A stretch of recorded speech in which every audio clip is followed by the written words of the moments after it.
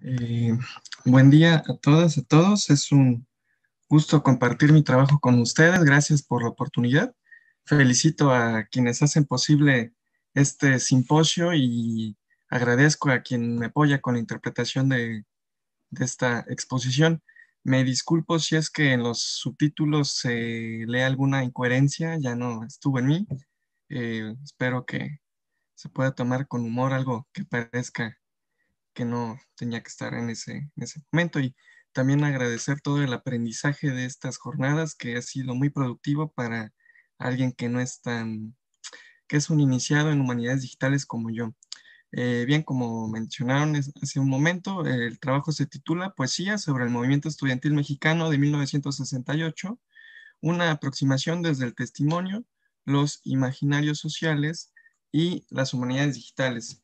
Y mm, antes que nada, ah, aquí error. Antes que nada, eh, mencionaré brevemente lo que representa para mí este acontecimiento histórico, el cual eh, en México se comprende como un conjunto de movilizaciones cívicas organizadas principalmente por estudiantes para exigir al Estado, entre otros puntos, la validación de derechos humanos, la liberación de presos políticos y el cese de prácticas autoritarias como la censura, represión y violencia, igual por parte del Estado.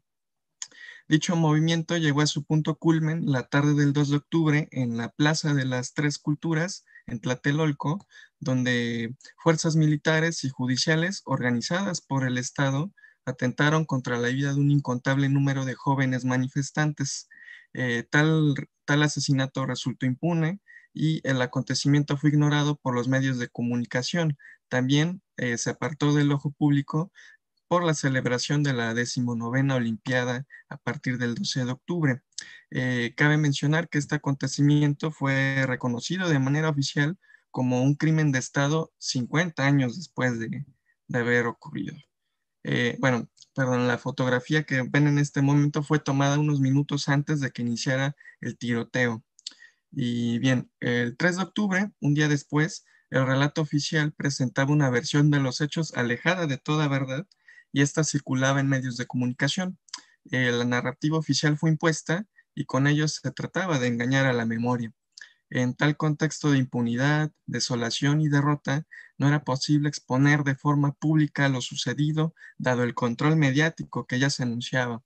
En este caso, la literatura surgió como un espacio para apelar a tales acciones y ejercer la libre expresión, manifiesta en la poesía de la cual hablaré. Bien, a partir de un corpus de 155 poemas presentes en las tres antologías que eh, señalo en la diapositiva, trato de identificar en, en, esta literatura su carácter discursivo y testimonial, entendido este discurso testimonial como un escrito de urgencia que trata de evidenciar los acontecimientos suscitados en un contexto de crisis social. Principalmente este discurso va a apelar a una verdad histórica, llamémoslo así, y u oficial también, y documenta una forma de resistencia ante estructuras hegemónicas mayores o a personajes antagónicos, como lo pueden ser dictadores, presidentes, fuerzas militares, entre otras figuras de poder. Eh, otra de mis intenciones es contemplar cómo desde tal lenguaje poético se cristaliza un imaginario social. Esto entendido como un ordenamiento de representaciones sociales que otorgan sentido de vida a un colectivo y a sus individuos. Dichas representaciones o imaginarios determinan las conductas y modos de relación y acción de estos individuos. Y bien, a mi modo de ver, el movimiento estudiantil responde a un imaginario social y este se va a materializar en el lenguaje que está en los poemas, cuestión que se puede comprobar con eh, este trabajo. Y bien, debido a la extensión del texto que reviso, utilicé Boyan Tools, que bien, se habló ayer un poco de esta plataforma, que es de acceso abierto y procesa, analiza, visualiza un corpus textual con base en sus frecuencias principalmente. Y bien, eh, después de la transcripción del corpus, el primer paso para este análisis fue Cirrus, que es una nube de palabras que permite visualizar los términos, que en este caso fueron 105, más utilizados dentro del corpus. Y como se puede apreciar, la palabra más empleada es no con 735 repeticiones eh, desde una frecuencia bruta. Y bien, la tabla que pueden ver contiene los 10 términos más empleados en los poemas, los cuales yo puedo clasificar como eh, verbios de negación, como no, ni, nada también puede, eh, o por referirse al contexto específico de ese acontecimiento, están las palabras como sangre, muerte, tlatelolco, que lo posiciona, silencio, entre otras. Y bien, a partir de esta nube de palabras también puedo identificar cómo los términos serán empleados desde la acción poética y desde su enunciación, y por otro lado, cómo este lenguaje confirma el imaginario social que, estoy planteando. Eh, una de las primeras conclusiones es la siguiente. Esta escritura se posiciona desde la negación, siendo no el término más repetitivo y correlacionado con el corpus. La herramienta Transberry que ven en la diapositiva correlaciona una palabra con los elementos más representativos de toda la literatura que, que ingreso a Boyant y a partir de estos círculos rosas que pueden ver, se muestra una relación por cercanía de una palabra con todo ese corpus. Eh, la negación a la cual me refiero va a referir de los escritores hacia el Estado, los ideales del Estado, sus prácticas y donde también se va a desempeñar una lucha simbólica. Eh, este conflicto no solamente se llevó a las calles o en los mítines, sino que por esto se puede ver que hay una lucha simbólica. Eh, y bueno, también los escritores van a denunciar la realidad que viven, el malestar social y el sentido de memoria impuesto por la narrativa oficial. Otra cuestión que identifico es la existencia de lo que nombro términos base. Eh, estas palabras se repiten tanto que imposibilitan su análisis concreto, pero aún así observo en estas el desarrollo de una función mayor en contraste con otros términos. La herramienta Microsearch señala la distribución general de una palabra o varias, como pueden ver, dentro del documento y lo representa de forma abstracta en un bloque dividido por diversas secciones. En este caso, va a generar un bloque por antología, que son tres, ilumina las zonas donde se concentra el término seleccionado. Eh, lo que harán estas palabras, que están tan dispersas, será modificar expresiones e imágenes poéticas. Estas siempre van a acompañar a otros términos y los van a modificar, ¿sí? Y aparte van a modificar contenido tópico. Eh, ahora que menciono temas, eh, la plataforma no puede realizar todo el trabajo, debo decirlo, desde una lectura a distancia. Por ello, el análisis requiere también la lectura densa de quien analiza. En ese sentido, Boyan requiere apoyo para definir los temas. Desde mi lectura yo identifico nueve tópicos, los cuales mi investigación analiza principalmente tres. El primero eh, se centra en la descripción testimonial y polifónica de los crímenes del 2 de octubre.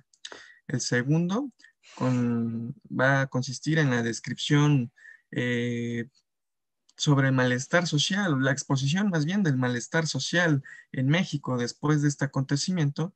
Y por último, la invitación de quienes escriben a resistir, resistir ante el gobierno de ese momento y la represión, para también esperar el momento en que estos escritores o estos manifestantes puedan volver a manifestarse, a, movilizarse. En ese momento debe entenderse que la escritura eh, muestra una, pasividad, o sea, no es posible eh, repetir todo lo que ocurrió ya que hay un gran ambiente de derrota. Los demás temas que ven en la gráfica de barras serán secundarios y dependientes de los tres primeros. Por otro lado, propongo un análisis poético en descenso. Este debe considerar los resultados cuantitativos de Boyan Tools y permitir eh, aterrizar en una reflexión cualitativa. En este sentido, debe confluir mi, lectura con el procesamiento de Boyant.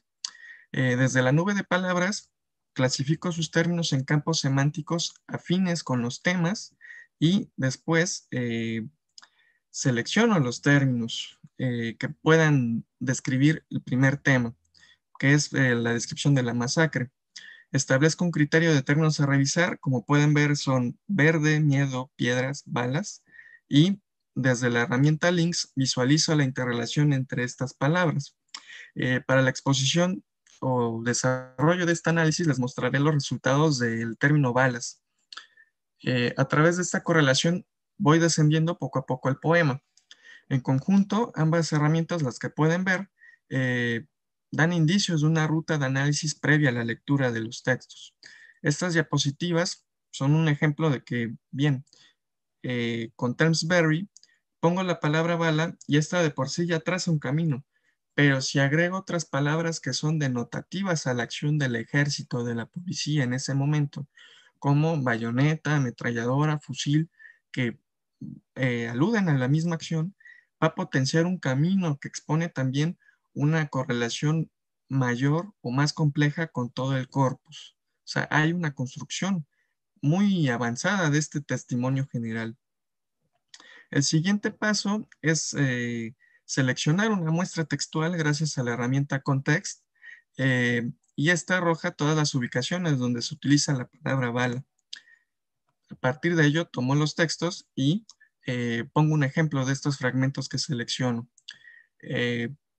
antes de leer los poemas, solamente invito a que tomen este paréntesis. Marco con negritas la palabra principal, balas, en cursiva los términos más representativos de todo este corpus general y en subrayado algunos elementos que invito a comparar entre estos fragmentos que leeré. El primero de la izquierda dice, por ejemplo, y el 2 de octubre la juventud pide su pan de amor, su pan de verdad, su pan de libertad a los mayores generales que de eso no saben nada. El amor era ruido de las sirenas, libertad de las balas que silban cantos y la sangre, toda verdad. Aquí hay que tomar en cuenta cómo este fragmento sintetiza, por ejemplo, todos estos principios del movimiento y lo que sucedió también en Tlatelolco. Este colectivo que pedía entre a grandes rasgos libertad, amor y verdad, recibe por esta figura de altos mandos eh, balas, que ya sabemos lo que significa, sangre y sirenas como un denotativo de fuerzas judiciales. El fragmento de la derecha dice, por ejemplo, eran mil los muchachos los que cantaban y caían sobre ellos miles de balas, recogiendo su sangre en ascuas. Botas, balas, cuchillos, ay, por el cuerpo de los caídos, los otros corriendo despavoridos. Y aquí es preciso comparar los poemas, porque además de balas, es necesario ver la constancia de ciertas acciones referentes a la voz, no solamente, por ejemplo, las balas silban, que eso ya remite a, una acción de, la boca, por decir, pero también eh, se menciona estos, estos sujetos, los jóvenes que cantan, o también cómo reaccionan a partir del accionar de las balas. Surgen las balas, los jóvenes gritan, sangran y eh, hay una imagen eh, constante sobre, de persecución al correr. Y bien, otro fragmento dice, seguimos caminando, imposible distinguir cuántas balas, cuántos gritos, la dimensión de la guerra inesperada. Estaba borracho de balas o de muerte. Y el último fragmento dice, y las balas silbando, cortando con su aullido los nombres, haciendo dispersar el vocerío de ayes, gemidos y blasfemias. Y bien, para más, los dos, los dos fragmentos restantes harán la misma referencia de lo que yo les menciono. Se posicionan las balas y a partir de ello hay una reacción de los demás sujetos. Surge la sangre, surgen los gritos, surge la persecución. Eh, y bien, ¿cuáles son mis impresiones del análisis? Primeramente, seleccionar un término va a trazar un proceso lógico en la escritura plural del corpus, si es que lo podemos ver así. ¿Esto qué quiere decir? Los textos contienen imágenes poéticas muy similares uno con otro y presentan una construcción estructural retórica muy similar. Por lo anterior, hay estrategias discursivas definidas, un modo de manifestar, describir y denunciar el suceso histórico. Por otro lado, con esta suma de poemas, desde la palabra que selecciono, se visualiza un desarrollo narrativo, pues yo insisto en que todo esto tiene una intención testimonial. Eh, desde una mirada polifónica se va a desarrollar una narrativa que describe esta masacre. Además, habrá una intertextualidad del corpus de una palabra con varias ideas, con varias imágenes y demás estructuras poéticas. Eh, estas observaciones me hacen pensar en la existencia de un estilo literario concreto al escribir sobre acontecimientos históricos como el que menciono y Boyan Tools es una extensión que puede servir para confirmar esta, esta hipótesis. Y bien, como consideraciones finales, Boyan Tools es de gran utilidad como una herramienta de análisis cuantitativo, eh, ya que refuerza la práctica interpretativa de un conjunto extenso de poemas. Bien, esta plataforma posibilita nuevas reflexiones respecto al movimiento estudiantil, a su estudio, claro, y diversos caminos en el eh, análisis formal de la poesía. Debo reconocer que es necesario eh, ver a Boyan como una plataforma que se enfoca en el análisis de contenido y funciona como un método complementario. Para ello, para avanzar, es preciso un enfoque metodológico mixto donde se incluyan los resultados de Boyan con teoría que complemente la interpretación de estos resultados, más cuando se analiza poesía, que esto implica una dificultad aún mayor. Eh, por otro lado, ya para terminar, invito a valorar a la poesía más allá de su perspectiva estética, sino también por su carácter público. A través de la poesía, o de lo que podemos ver en esta investigación, hay acción y ejercicio político, una posibilidad para la resistencia, la documentación y la divulgación de la memoria. Y sin más, yo agradezco su atención, espero sus comentarios. Eh, de nuevo, felicito a toda esta organización y sin más, gracias de nuevo. Les deseo mucha salud en estos momentos. Gracias.